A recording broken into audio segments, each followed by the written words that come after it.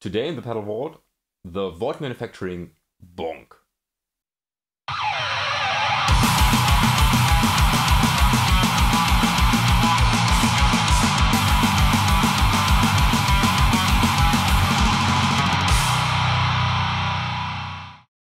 The Bonk by Void Manufacturing is basically a deluxe Caveman version, and the Caveman is, well, it's a distortion pedal.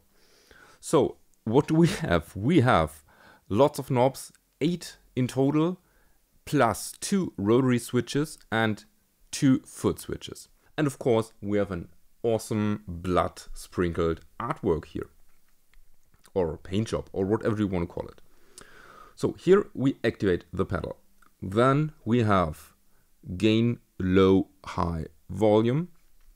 We have a mid control that should be sweepable with this sweep control here. Then we have a blend control. Here it's called meat. I don't know what this is. Maybe this is affected by the sweep control, don't know yet. And the two rotary switches are basically here we have different clipping options and here we have a selector of different input caps. And now this knob here, I'm not sure if I can show it to you in the uh, EQ curve, but this activates the aggro mode and this is basically a feedback loop, which sounds really awesome on itself. But, um, well, again, I'm not sure if I can show it to you in the EQ curve. So everything on noon, blend to full. So we have a volume boost. Gets kind of ridiculously loud. Now gain. Nothing, good.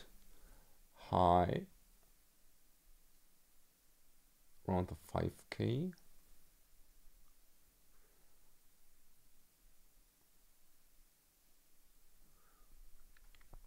low around 100 hertz maybe a bit higher. Okay now mid.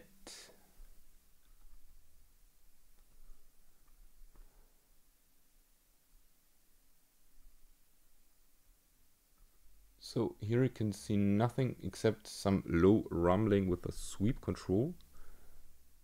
Maybe when we activate meat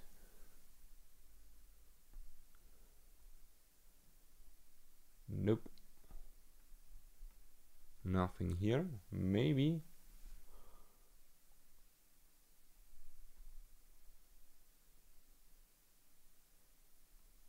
Nope. Okay.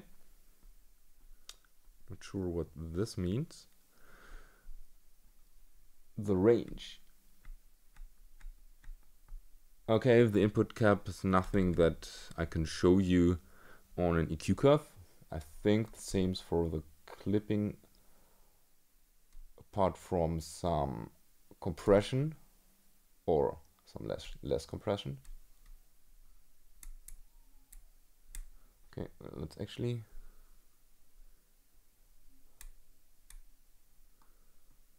Okay, and now the aggro mode here you can see it basically generates a tone and we can shift the tone. I think the meat is connected to the aggro switch.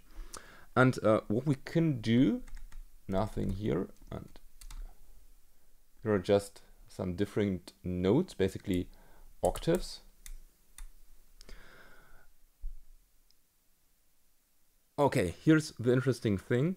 When playing around with the volume or the actual volume control on your guitar, you can achieve different pitches. The more volume you get, the lower the tone.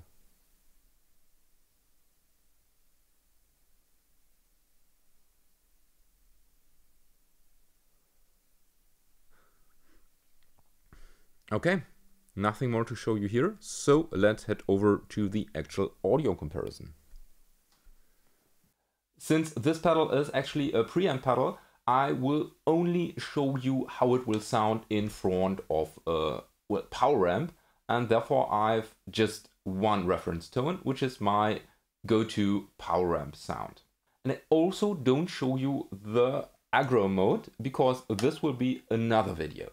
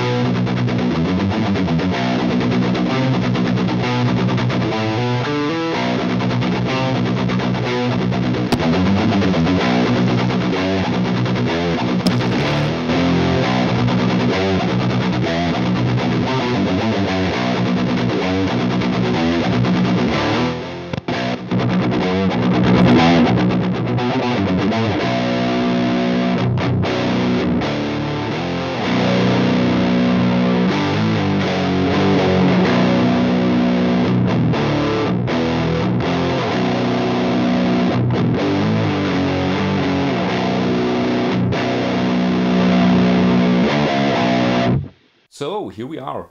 And first of all, my initial reaction to this pedal was, okay, what's that?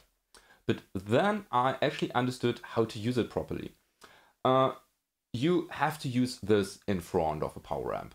I well, I had some tests using it in front of a distorted amp or slightly distorted amp and a clean amp, and it didn't sound good.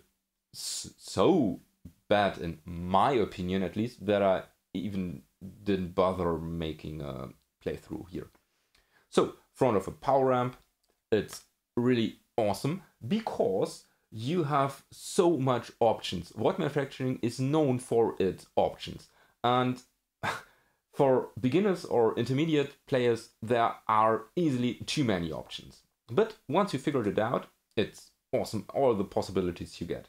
So, with the clipping, you get a variety of different sounds that uh, naturally for clipping uh, decrease or increase the volume quite drastically. So you have to adjust with the volume control.